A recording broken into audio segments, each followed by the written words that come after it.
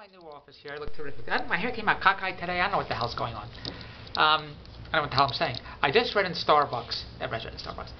Um, Howard Schultz created Starbucks. I love that guy because he's a Jew, and that's not why. He just happens to be Jewish, but he's, he's an entrepreneur. He started Starbucks. If I came to you years ago and said, "Look, I have an idea. I want to have coffee shops."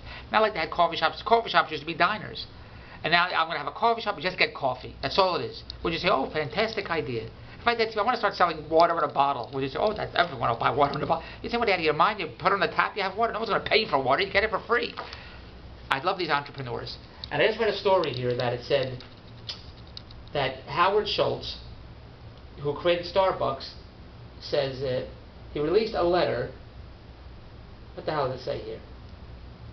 During he, he wrote a letter and he wrote a letter to an open letter. He wrote an open letter to all the customers of Starbucks. He wrote an open letter to all the customers of Starbucks, and it said, "Stop bringing your firearms into the Starbucks stores." He's a genius, that guy.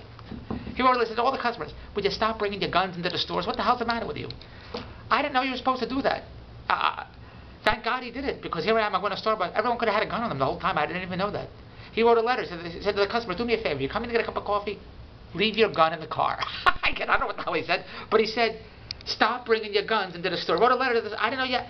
So meanwhile, does that mean when I go to Walmart, I love Walmart, I love it. I, I get cheap toilet paper, cheap uh, razors, soap. It's the cheapest place to get razors and soap and toilet paper and toothbrushes. Does that mean I never saw a sign there? Customers, please leave your guns outside. I never saw that.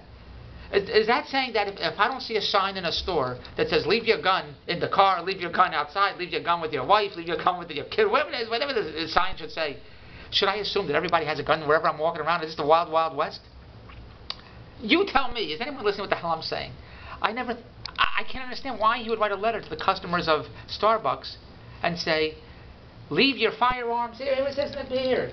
Leave your firearms. Stop bringing your firearms into the stores. Is the coffee that bad? Everyone has to come in with a gun? why would people bring their guns to Starbucks? I know they bring their computers. I can't figure that part out either. I don't know why they bring their computers, bring their books, now they're bringing their guns. What the hell is going on in this house? Uh, go to davidbronstein.com. That's the only place you should go. And if you go to my site, leave your gun away. Don't point the gun to the site. Leave your gun outside. I'm going to let all my fans leave your guns away from the site. Go to davidbronstein.com. I got the biggest TV products that check. That's the only place you want to go if you want to succeed. I got the biggest success stories, the biggest sites, the biggest girls. Everything's at davidbronstein.com. Just leave your guns out of Starbucks. That's all I want you to do. davidbronstein.com. Goodbye.